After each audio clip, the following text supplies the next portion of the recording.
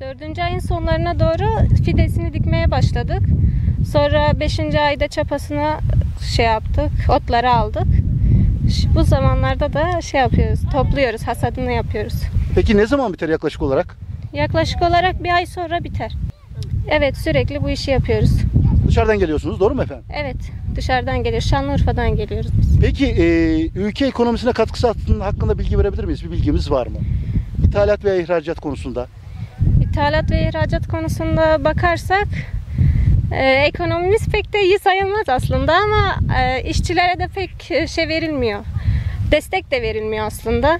Burada tamam çalışıyoruz ama pek de yövmiyemiz yüksek sayılmaz. E, çalışıyoruz sabahtan akşama kadar.